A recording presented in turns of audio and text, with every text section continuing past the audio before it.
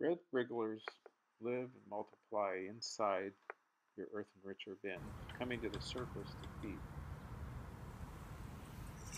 I add kitchen scraps about once or twice a week to the top of the bin, and then I spray it with water to help keep the surface moist. And periodically I poke the compost with a bamboo stick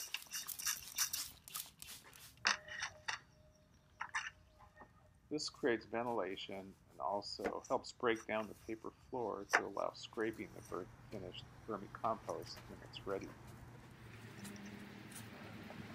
Pushing and pulling the rake will scrape the underside of the finished vermicompost deposited by the worms in the bottom of the bin.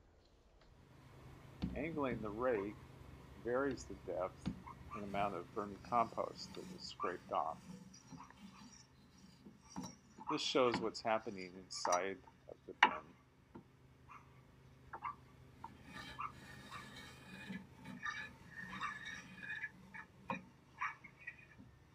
Be sure to push the rake to one side or the other as you scrape so that you remove all of the compost that otherwise would sit on top of the rods.